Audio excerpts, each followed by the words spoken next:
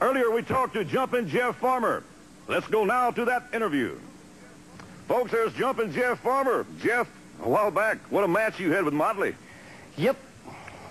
Probably the hardest match I ever had in my life. But I don't like it when things aren't my, going my way.